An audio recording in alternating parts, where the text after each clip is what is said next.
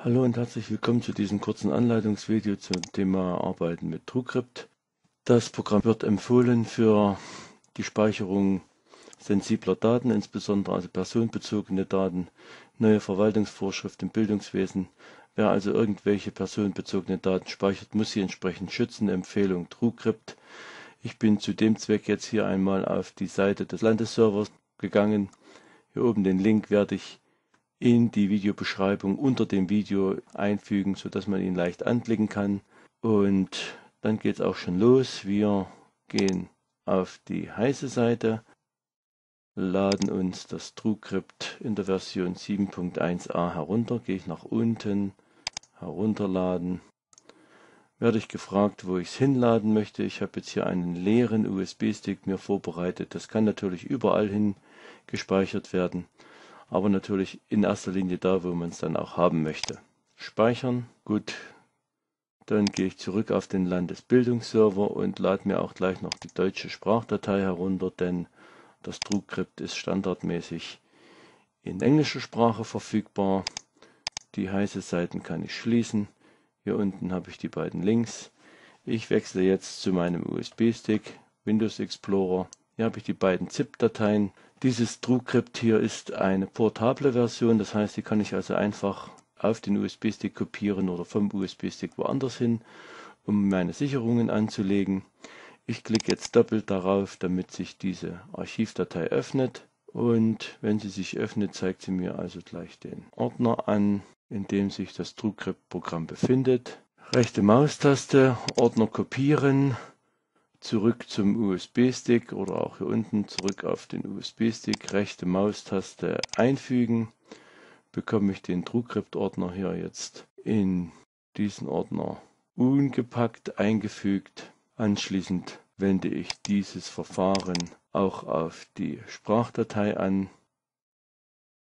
Doppelklick, rechte Maustaste language.de, kopieren, wieder zurück auf den USB-Stick in den Ordner TrueCrypt, rechte Maustaste einfügen. So, jetzt habe ich hier ein TrueCrypt, das die deutsche Sprache kann und jetzt kann ich das TrueCrypt starten. Dazu öffnet sich zunächst ein Hinweis, dass es mit Administratorrechten gestartet werden muss. Das kann ich also hier Ausführen mit Administratorrechten. Dann sieht mein TrueCrypt-Programm so aus. Es ist gestartet. Ich habe noch gar keine Save-Datei. Meine zu schützenden Dateien werden in einer Datei zusammengefasst, die wir hier als Save bezeichnen.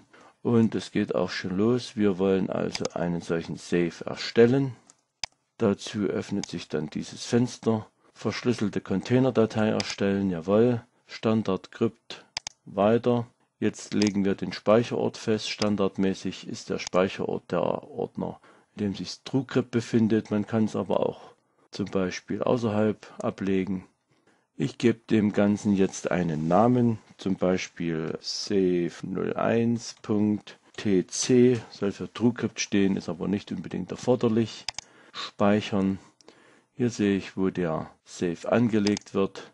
Jetzt gebe ich noch die Verschlüsselung vor. Wenn ich also jetzt keine weiteren vertieften Kenntnisse habe, nämlich die Standardeinstellungen. Hier lege ich die Größe fest von meinem Safe.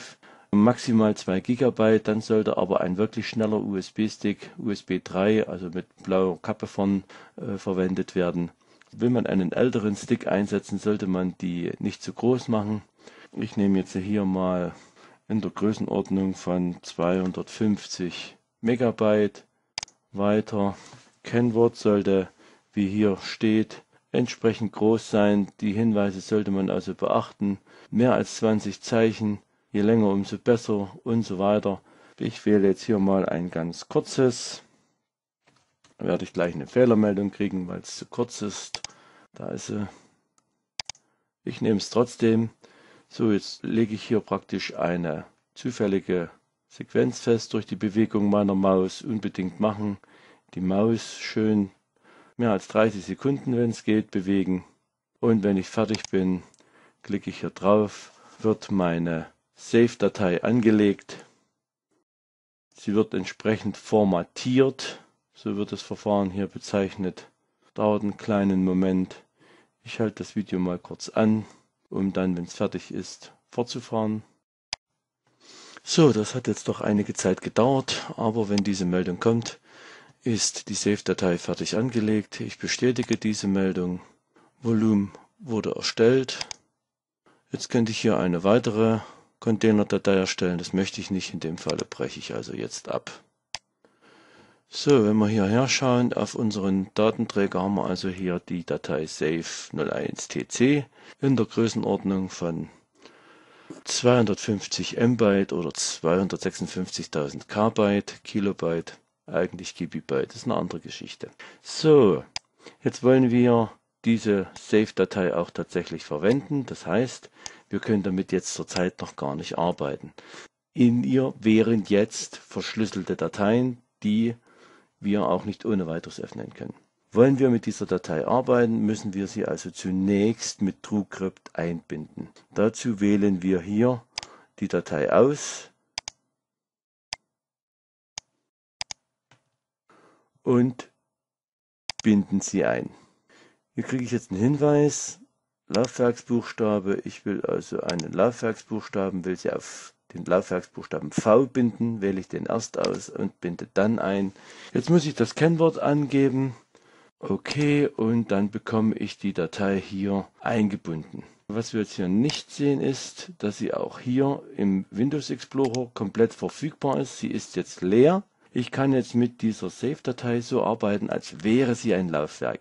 Ich könnte also jetzt äh, Dokumente in diese Datei speichern. Zum Beispiel ganz normal wie immer rüber kopiert, wird hier reingespeichert und ist jetzt hier im Prinzip zunächst erst einmal abgelegt. Solange die Datei hier als Volume eingebunden ist, als Datenträger eingebunden ist, ist sie natürlich offen, kann von jedem verwendet werden. Deswegen ganz wichtig, dass man bei Beenden der Arbeit das Volume auswählt. Man kann also auch mehrere solche Save-Dateien hier erzeugen, hier entsprechend an Laufwerksbuchstaben binden. Wenn ich fertig bin, trenne ich das Ganze und jetzt kann ich gleich sehen, dann fehlt mir das Laufwerk V hier unten. Ich kann nicht mehr damit arbeiten. Übrigens diese beiden ZIP-Dateien kann ich jetzt hier auch entfernen. Mein Save befindet sich hier in diesem TrueCrypt-Ordner. Es ist der Save 01. Wie gesagt, man kann sich mehrere solche Saves anlegen, kann sie leicht einbinden, indem man das entsprechende TrueCrypt-Programm startet, ein Laufwerk auswählt, die einzubindende Datei hier auswählt, das Ganze einbindet, Passwort eingibt und schon hat man einen entsprechenden Datenträger hier, auf den man die Dateien ablegen kann. Ich empfehle zum Schluss noch entsprechende Sicherungskopien anzulegen. Sollte ein USB-Stick mal streiken, sollte man irgendwie Probleme haben, darauf zuzugreifen, sind die Daten tatsächlich unwiederbringlich verloren. Es gibt keinen Weg an die Daten, wenn ich das Passwort vergesse oder wenn meine Save-Datei irgendwelchen Schaden erleidet. Hier muss man also sehr, sehr vorsichtig sensibel agieren, aber eine solche Datei auf einem USB-Stick in dieser Form, also das ist die Datei, die jetzt hier als Laufwerk eingebunden ist mit ihren Inhalten, kann niemand entschlüsseln auf dem USB-Stick und dann sind die Daten hier also auch tatsächlich sicher aufbewahrt.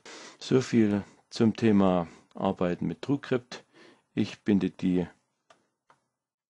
Datei nochmal ab, also ich trenne sie jetzt hier, erledigt. So, jetzt kann ich meinen USB-Stick mitnehmen, sollte er verloren gehen, dann sind die Daten hier drin tatsächlich entsprechend sicher.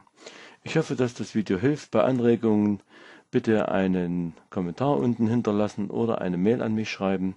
Sollten noch Fragen sein, wäre ich also gerne auch bereit, weitere Videos zu drehen, um den Vorgang noch besser zu beschreiben. So viel für heute und viel Spaß beim Ausprobieren. Wie gesagt, das Video immer anhalten weitermachen, anhalten, weitermachen, anhalten, probieren, anhalten, probieren. Und so kann man also mit dem Video doch recht vernünftig das nachvollziehen, was ich hier gezeigt habe. Viel Spaß dabei.